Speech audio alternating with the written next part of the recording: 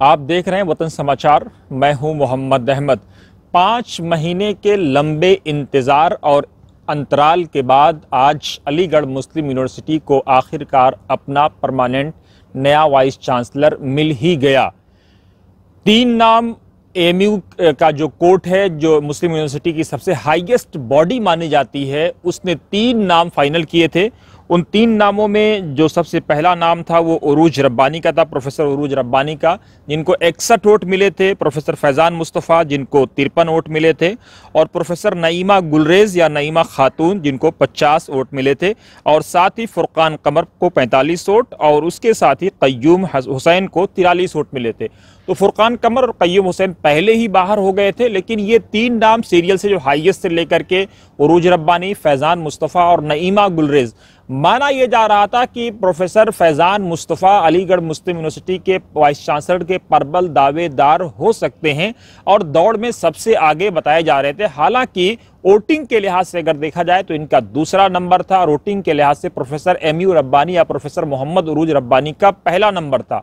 लेकिन जिसको राष्ट्रपति महोदया ने अपॉइंट किया चूँकि राष्ट्रपति महोदया विजिटर होती हैं, वाइस चांस यूनिवर्सिटी की विजिटर हैं तो उन्होंने जिनको अपॉइंट किया है, वो तीसरे नंबर पर नईमा खातून या नईमा गुलरेज जिनको 50 वोट मिले थे।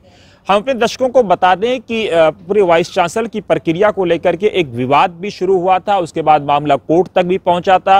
जिसमें कन्फ्लिक्ट ऑफ़ इंटरेस्ट की बात आई थी, जो प्रोफेसर नईमा गुलरेज के जो शौहर हैं, जो एक्टिंग वाइस चांसलर के तौर पे अपने फ़राइज अंजाम दे रहे थे, उनको इसी की मीटिंग शेयर करने का आरोप था और कहा यह जा रहा था कि इन्होंने, यानी कन्फ्लिक्ट ऑफ़ इंटरेस्ट की बात आ रही थी, मफादात के टकराव की बात आ रही थी, लेकिन बहरहाल सारे मुद्दे धीरे धीरे वक्त के साथ सुलझते चले गए और नवासी मेंबर अब बात एक ये भी आई कि छात्र संघ की नुमाइंदगी नहीं है और बात ये भी आई कि शिक्षक संघ की नुमाइंदगी नहीं है, जिससे कोर्ट मेंबर्स की तादाद कम हुई।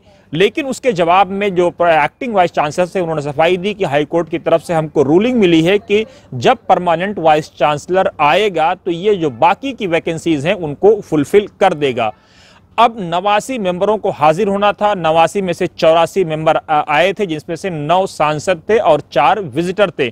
नौ सांसदों में एक बड़ा नाम गुलाम अली खटाना का था, जो भारतीय जनता पार्टी से आते हैं। माफ़ कीजिएगा जो भारतीय जनता पार्टी के नेता ज़रूर हैं, लेकिन उनको राष्ट्रपति महोदया ने अपॉइंट किया है, नॉमिनेट किया है। एज सांसद वो नॉमिनेट हुए हैं राष्ट्रपति महोदया की तरफ़ से। और साथ ही बीजेपी के नेताओं का भी जो बयान आ रहा था कि यूनिवर्सिटी की तारीख में पहली बार कोई मुस्लिम महिला या कोई महिला आई है जिससे इस बात को बल मिल रहा था कि मुमकिन यह है कि जामिया मिल्लिया इस्लामिया के तर्ज तर्ज पर, क्योंकि जामिया मिल्लिया इस्लामिया को इससे पहले एक महिला खातून वाइस चांसलर के तौर पर सर्व करके जा चुकी हैं तो माना यह जा रहा था कि उनके तर्ज पर अलीगढ़ मुस्लिम यूनिवर्सिटी को भी एक महिला वाइस चांसलर मिल सकती है। और अब उन अगर मगर लेकिन और संभावनाओं के बीच इस बात पर मोहर लग चुकी है और नईमा गुलरेज या नईमा खातून को परमानेंट वाइस चांसलर बना दिया गया है। है। इलेक्शन कमीशन की तरफ़ से एमसीसी यानी मॉडल कोड ऑफ़ कंडक्ट के वायलेशन को लेकर के एजुकेशन डिपार्टमेंट की तरफ़ से हायर एजुकेशन डिपार्टमेंट की तरफ़ से एक पत्र लिखा गया था। उस पत्र का जवाब इलेक्शन कमीशन की तरफ़ से दिया गया और कहा गया कि इससे एमसीसी यानी मॉडल कोड ऑफ़ कंडक्ट का कोई टकराव नहीं है। जिसके बाद आज अलीगढ़ मुस्लिम यूनिवर्सिटी के रजिस्ट्रार को एक पत्र जारी कर दिया गया, एक चिट्ठी जारी कर दी गई और उसमें नईमा खातून के vice chancellor as a five year five year vice chancellor के तौर पर यानी पाँच साल तक, अब वो यूनिवर्सिटी की खिदमत को अंजाम देंगी।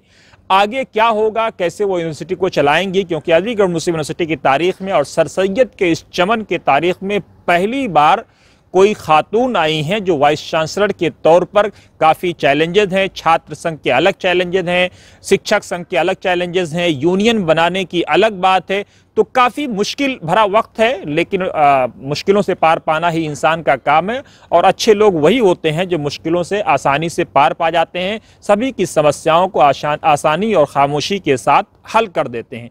तो आप देख रहे थे वतन समाचार कमेंट बॉक्स में ज़रूर अपनी राय दें कि वीडियो कैसी लगी और साथ ही आप लाइक शेयर और सब्सक्राइब भी ज़रूर करें।